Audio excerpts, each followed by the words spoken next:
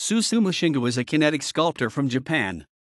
His nature inspired works are constructed of highly engineered materials, commonly steel and Teflon.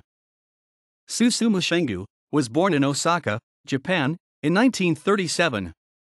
He matriculated at the University of Fine Arts in Tokyo in 1956, with a concentration in oil painting. A bursary from the Italian government followed, allowing him to travel to Italy where his intention was to study figurative painting.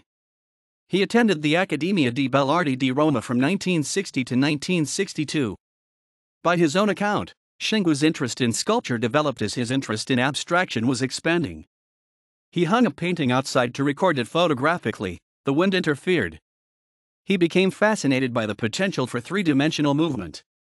The work that followed relied on natural forces to make it move or make sound, and he began using more sophisticated materials for outdoor works, as traditional art materials were either too heavy to supply graceful natural movement or too quickly degraded under outdoor conditions.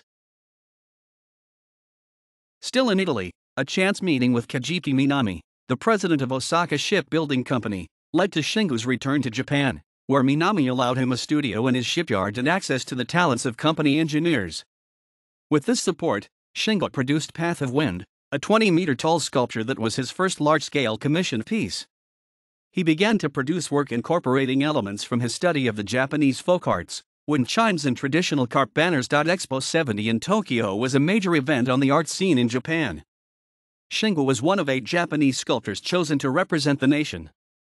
The organizers commissioned a large piece from Shingu for the Central Plaza. He spent a year at Harvard University as a visiting artist at Harvard's Carpenter Center for the Visual and Environmental Studies, 1971 to 1972,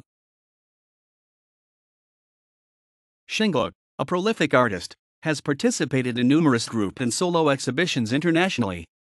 Additionally, he has collaborated in theater projects, including variations on tradition Japanese Noh performance, and published a number of children's books.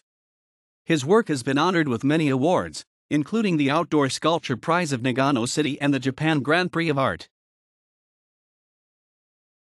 The 3,000 SQ meter Susumu Shingu Wind Museum is an open air sculpture garden in Sanda, Japan, established in 2012.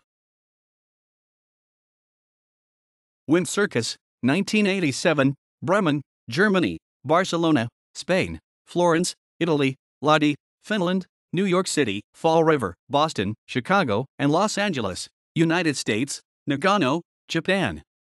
Cosmos, 2018, Galerie Jeanne Bucher Jaeger, Paris, France.